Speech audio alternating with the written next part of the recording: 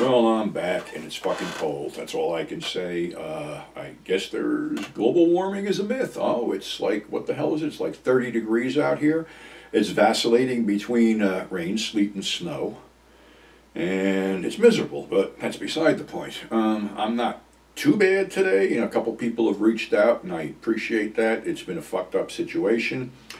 But I got a hold of the insurance company with this medical shit and got assigned a new doctor, which I will see in December. Um, that's the earliest I could get in. But tired of dealing with crap and tired of dealing with bullshit. And uh, like yes, yesterday, I had to take the dog back to the vet because the incision on her back split open.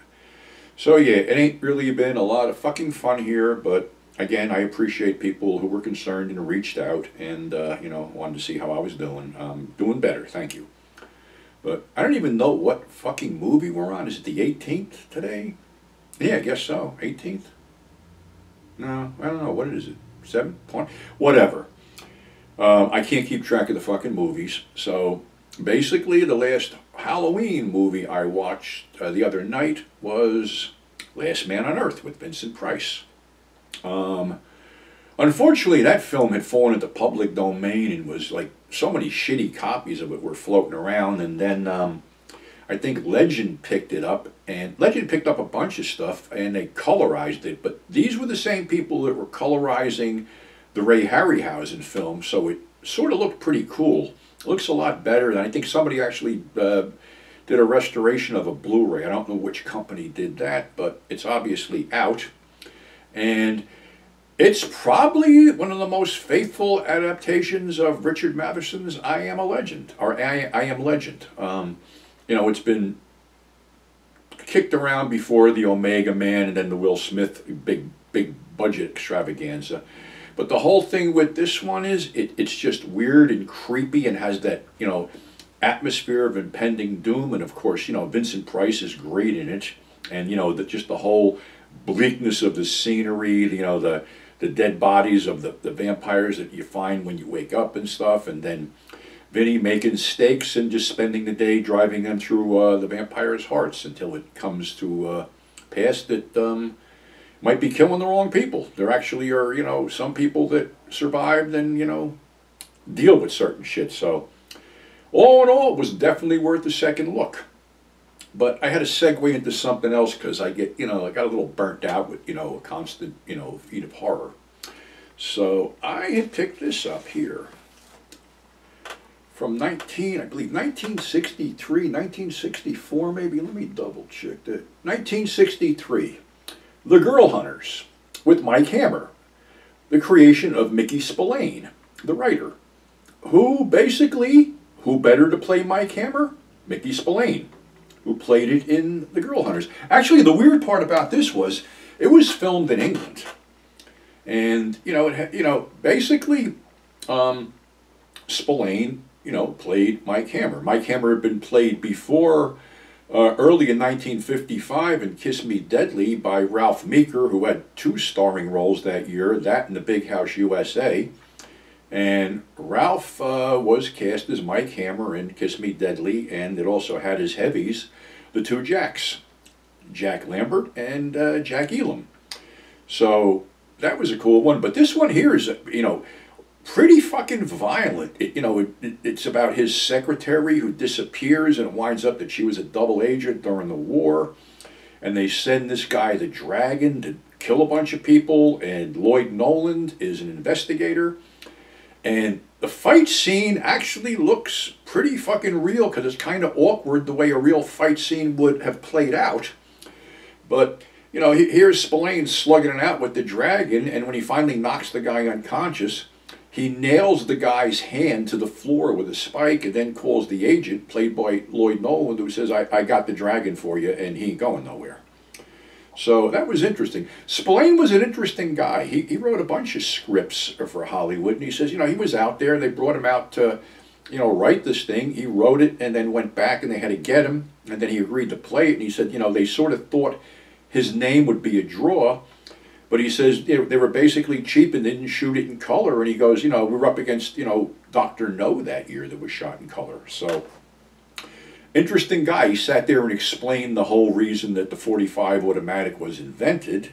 and that was because of uh, the Philippine insurrection with the Moros. That this tribe or a bunch of people that used to like load themselves up on cocaine and shit, and basically.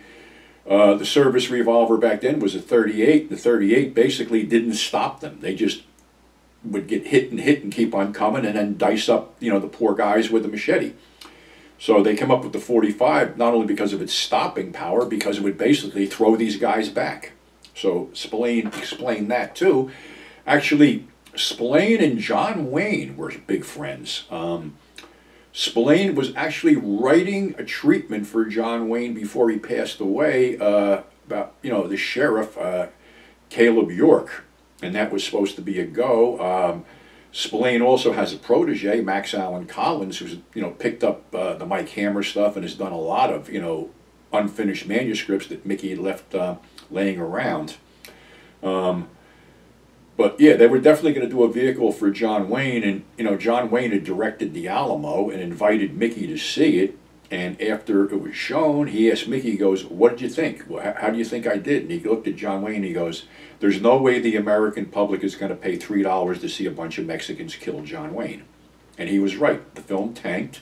I don't think Wayne directed another film after that, but um, he stayed friends with Spillane up until Mickey Mickey passed away. And like I said, Max Allan Collins has picked up the torch and was basically uh, gifted a lot of Mickey's un. Uh, finished manuscripts. And, um, you know, they've been co coming out here and there. I've been reading them. They're, they're a great read. You know, it's a, almost like a reader's noir, like film noir, where it takes you back to the 40s and, you know, the gumshoes and that type of language. But it, it's really pretty cool. Well, being that I got on that whole gumshoe detective thing, I had to pick up this. Uh, Robert Mitchum as Philip Marlowe here. Um, in the Raymond Chandler. You know, Raymond Chandler creation was the detective Philip Marlowe, and this is a double feature, Farewell My Lovely and The Big Sleep. Farewell My Lovely was shot in that time period. Um, great cast, um, John Ireland, Harry Dean Stanton, uh, a very young Sylvester Stallone brought in by Joe Spinell, who was basically, Stallone was sort of Joe's protege, and Joe really believed in him. But Stallone's people convinced say, Sly to stay away from Joe and sort of fucked him in the end, which Joe Joe never got over. He just really felt he was he was screwed over by Sly, which he was. And um, who else was in that thing? Charlotte Rampling, who looked great, and um, you know this big guy. What was this guy's name? He played. It was Moose Malloy. There's always a Moose Malloy, and I'm trying to think what the guy's name was, and I can't. Um, can't see it here. Anthony Zerbe was in it too, but a lot of shoot 'em ups, a lot of great shit in there. And like Mitchum, it was it was a role tailor made for Mitchum. Mitchum just you know sleepy idly sleepwalks his way through this whole thing, you know, and there's a whole bunch of crazy stuff going on. Uh, Burton Gilliam is one of the thugs in there too, so that's a good one.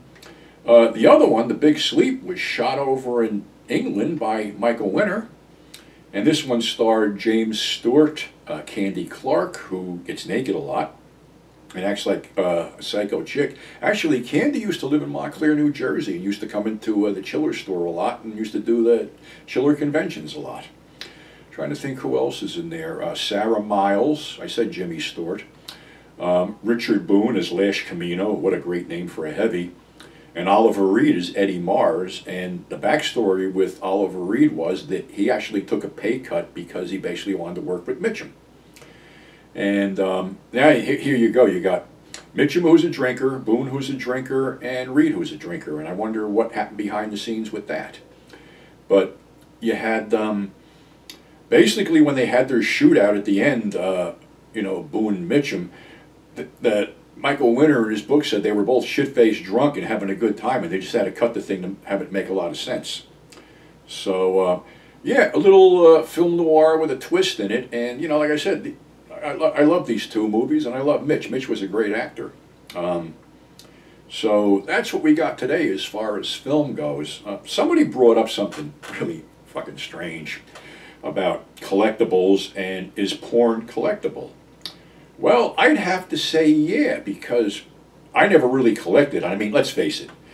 we're all guys, except for, you know, our female viewers here. And what guy didn't have a little porn stash, his own private jerk off stash somewhere?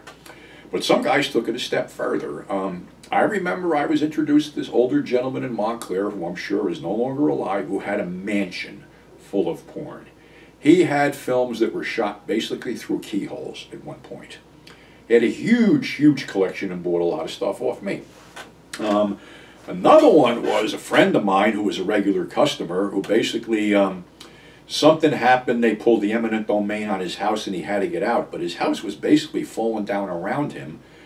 And I took three van loads of smut out of his house and sold it on eBay for some good money. And people paid, you know, some good money for this stuff. So, um, yeah, they're they're it's collectible. I mean, up, up until a certain point, you know, eBay, you know, eBay was loaded with adults only stuff that was completely collectible. But then they made the corporate decision, and no more smut.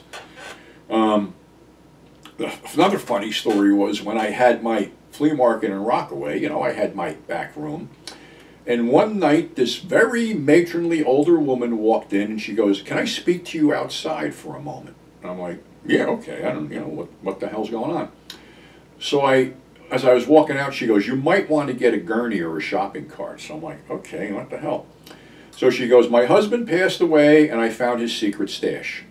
She had a station wagon full of porn. And this guy was into big tits.